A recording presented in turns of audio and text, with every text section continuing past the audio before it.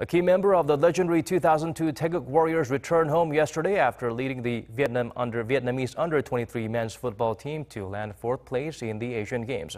After arriving at Incheon International Airport this morning, Park Hang-seo said he is grateful to his players for this achievement. The coach also thanked Vietnamese and Korean fans for their strong support.